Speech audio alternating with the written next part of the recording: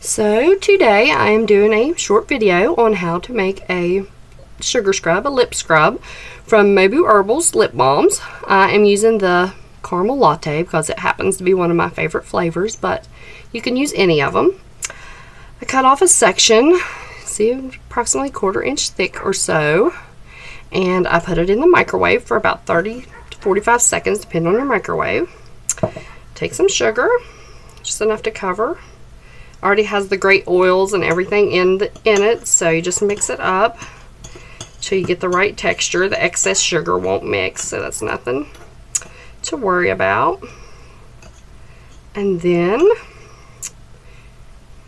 scrape it off, and you have a nice single size portion of a lip scrub.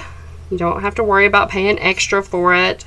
It makes a, a nice texture. Just rub on your lips and smooth off, lick it off, whatever. It's delicious.